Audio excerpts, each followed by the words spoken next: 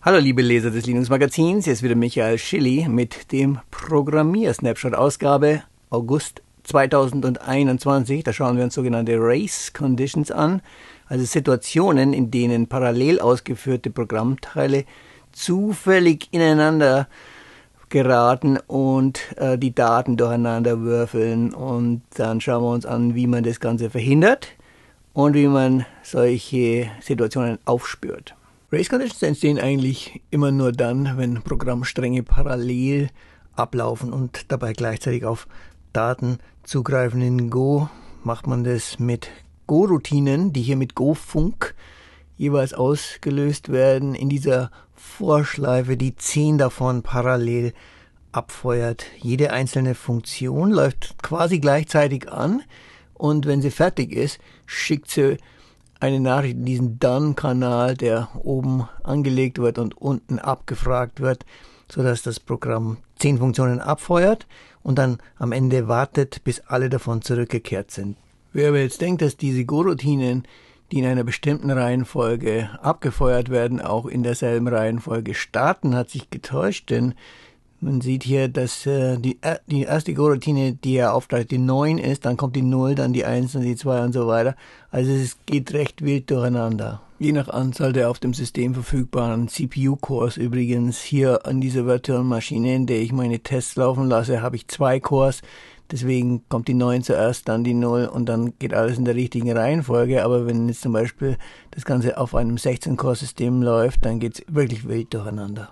Wer jetzt diese Go-Routine nicht willkürlich starten möchte, sondern in der Reihenfolge von 0 bis 9, der muss es manuell synchronisieren. Und ich habe das jetzt hier mal mit einem Array von Channels gemacht, den ich Status genannt habe. Und jeder dieser Channels wird einer Go-Routine zugewiesen unter dem entsprechenden Index. Und immer wenn auf dem Kanal was ankommt, dann startet die zugehörige Go-Routine. Das Ganze wird angetreten von der Zuweisung unten, die dem nullten Channel einen Wert True hinein schickt, worauf die Routine 0 in ihrer ersten Zeile die Blockierung aufgibt, die Print-Anweisung ausführt und da ID kleiner als n-1 ist, Routine 1 lostritt, indem sie ein Signal in den Kanal Nummer 1 schickt. So setzt sich die Lawine fort und die Routinen starten, wie man das sehen kann, wenn man das Ganze kompiliert, wirklich in der vorgegebenen Reihenfolge. Ein ganz interessantes Thema, wie man solche Go-Routinen synchronisiert mit in diesem Fall sogar einem Array von Kanälen. Aber ein etwas praxisorientierteres Beispiel wäre, wie man zum Beispiel Plätze im Flugzeug bucht. Wenn zwei Reisebüros versuchen, den letzten Platz zu ergattern, da muss man ganz schön aufpassen, damit man nicht aus Versehen beiden Buchungswilligen den Sitzplatz zukommen lässt.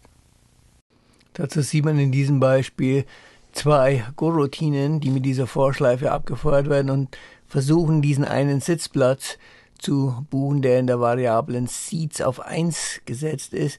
Und die prüfen beide, ob Seeds größer 0 ist und falls ja, geben sie eine Erfolgsmeldung aus und falls nein, dann äh, geben sie eine Fehlermeldung aus. In der, Im Erfolgsfall wird der Wert von Seeds auf 0 zurückgesetzt. Was eigentlich verhindern sollte, dass die andere Go-Routine ebenfalls den Sitzplatz bucht, weil sie ja auch prüft, ob Seeds größer 0 ist oder nicht. Wenn wir das Programm jetzt allerdings kompilieren, sehen wir, dass das keineswegs der Fall ist, denn beide Sitze werden gebucht, sogar ziemlich reproduzierbar, zwar in unterschiedlichen Reihenfolgen, aber beide Go-Routinen kommen durch. Woran liegt's?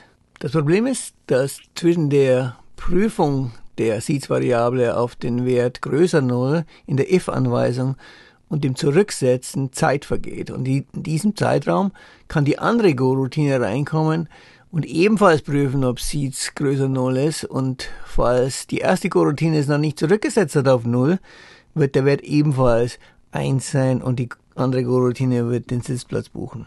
Das Problem lässt sich einkreisen, wenn man das Binary mit der Option Race übersetzt, dann prüft Go nämlich zur Laufzeit, ob solche Race Conditions auftreten.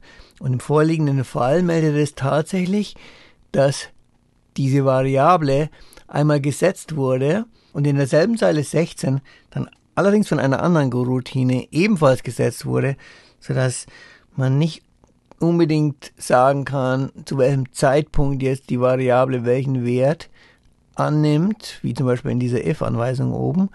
Und so kommt diese Race Condition eben zustande. Wer verhindern möchte, dass zwischen dem Prüfen der Variable und dem Setzen irgendwer dazwischen kommt, der muss dafür sorgen, dass dieser Bereich nur jeweils von einer Go-Routine durchlaufen wird und andere hereindrängende Go-Routinen abgewiesen werden, bis die eine Go-Routine, die erlaubt ist, durch ist. In diesem Beispiel sagt der Kanal Booking dafür, der auf eine Puffergröße von 1 gesetzt ist, dass immer nur eine Go-Routine durch kann. Am Anfang stopft die Coroutine jeweils einen Wert von True in den Kanal hinein, was nur einmal geht für die erste Coroutine und alle anderen werden dann ausgeblockt. So lange, bis die erste Coroutine am Ende wieder den Wert ausliest aus diesem Booking-Kanal. Wenn wir das Ganze jetzt kompilieren, zeigt das Ergebnis, dass tatsächlich immer nur eine Go-Routine die Reservierung vornehmen kann und die andere ausgeblockt wird. Also einmal gewinnt die erste Go-Routine, einmal die zweite, aber nie beide zusammen. Was eigentlich auch sinnvoll ist, denn der Sitzplatz im Flugzeug kann wirklich nur einmal vergeben werden. Dieses Aussperren anderer konkurrierender Go-Routinen lässt sich jetzt in der Informatik auf andere Weise lösen. Traditionell nimmt man da sogenannte Mutex-Operatoren her, steht für Mutually Exclusive, aber es darf immer nur einer gleichzeitig ran und die haben Methoden, wo man Lock aufrufen kann und Unlock. Und ich habe jetzt hier mal diese Book-Routine in eine Funktion verpackt. Und dann kann man sehen, dass ich vorher einfach Lock mache, hinterher Unlock. Und das Ganze funktioniert ebenfalls wie gewünscht, dass nämlich immer nur eine Go-Routine gewinnt und der Sitzplatz im Flugzeug tatsächlich immer nur einmal vergeben wird. Einmal zur einen, einmal zur anderen Go-Routine, aber eben immer nur zu einer. Und schließlich noch ein weiteres Verfahren zur Synchronisation von Go-Routinen kann ich mit diesem Wait Group Konstrukt aus der Core-Bibliothek von Go anlegen. Da lege ich so ein neues Objekt an, eine neue Wait Group und Hürden baue ich auf mit Add 1 oder einen höheren Wert und Hürden baue ich ab mit Done. Und wenn ich Wait aufrufe, dann wartet der eben so lange, bis keine Hürden mehr da sind. Und auf dieselbe Weise kann ich eben diese Go-Routinen so synchronisieren, dass zwischen dem Abfragen des Wertes und dem Setzen des Wertes niemand dazwischen funkt. Und das war schon wieder im Programmier-Snapshot. Ausgabe August 2021 zum Thema Race Conditions. Ich hoffe, ihr habt wieder was gelernt und seid beim nächsten Mal wieder dabei. Euer Michael Schilly. Tschüss.